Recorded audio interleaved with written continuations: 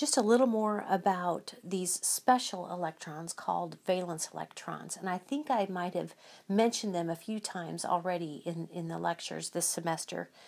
But the valence electrons collectively make what's called the valence shell.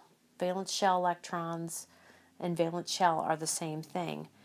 And the the opposite of if, if electrons are in a cloud outside of a nucleus and they aren't valence electrons, then they are what we call core electrons. So the set of electrons are core electrons are the inner electrons, and valence electrons are the outer electrons. And valence electrons, actually the highest n, remember we said, they uh, are the most important when it comes time for that atom to be reactive or that atom to bond to another atom or that atom to lose electrons or gain electrons. It's all about what the valence electrons or valence shell electrons are doing.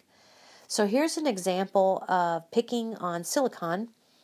And so silicon actually has, let's put the whole thing up here. Oops, sorry.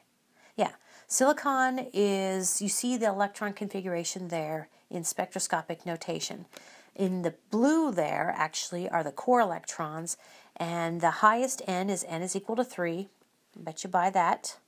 Okay, so n is equal to 3 is the highest, uh, the, the subshell, the highest value for n on any subshells. So actually we have 4 valence electrons here. Okay, and then we have, what, 10 core electrons. 10 plus, uh, 4 is the 14 electrons, okay? So going ahead and picking on selenium, selenium actually, the, the electrons are configured this way. Okay, we could use the arrow diagram and we, that's how we would find how the electrons are configured. Now notice that actually, um, well, a few things. If we were going to put this in increasing order of increasing n, we would go ahead and take that that that 3d10 and move it in.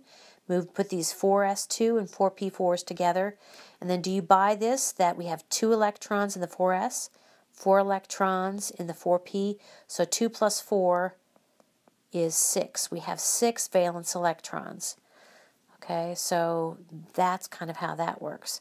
Um, the core electrons there are in blue. So we'll be revisiting, we'll be visiting this idea of valence electrons uh, at a later date.